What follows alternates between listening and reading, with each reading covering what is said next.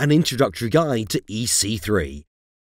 Chapter 2 Botnets Cybercrime Tool Number 1 Cybercriminals are just ordinary criminals who happen to commit their illegal activities online. And despite what it might look like, cybercriminals do not need to be IT geniuses to do so. They just require the invaluable help of their loyal sidekick, the botnet. Botnets are a cybercriminal's best friend.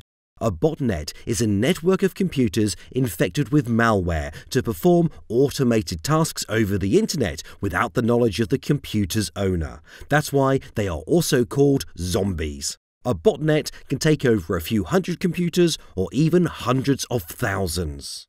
There is a long list of crimes that can be committed by means of a botnet. One example is phishing. With phishing, cybercriminals impersonate trustworthy entities like banks to acquire users' personal data, such as usernames, passwords, and credit card details. Another example is ransomware, where cybercriminals distribute malware to kidnap computers, and if the owners want to see their PCs alive again, they have to pay a ransom, although you should never pay. A recent variation is police ransomware, the same idea but using fake law enforcement branding in an attempt to increase authenticity. Botnets are also used to send junk email, attack websites and critical infrastructure, and in general to carry out any kind of large scale hacking you can think of. Organized criminal groups have turned botnets into a large business model. First, they create their own bots and malware. Secondly, they steal your personal and financial information, with which they can carry out scams with banks and e commerce websites as targets. Once their pockets are full, they launder their money.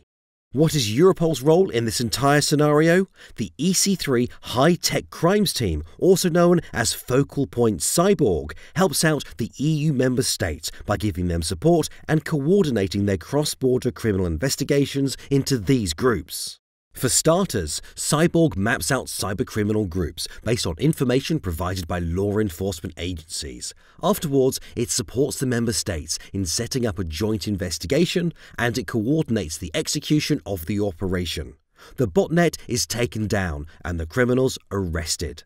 Later, Cyborg extracts the data and makes forensic copies of the seized servers, smartphones, and computers. Finally, it analyzes the data, which might lead into new links, leads, and operations. Thus, Cyborg gets to disable botnets and malware and put cybercriminal gangs behind bars.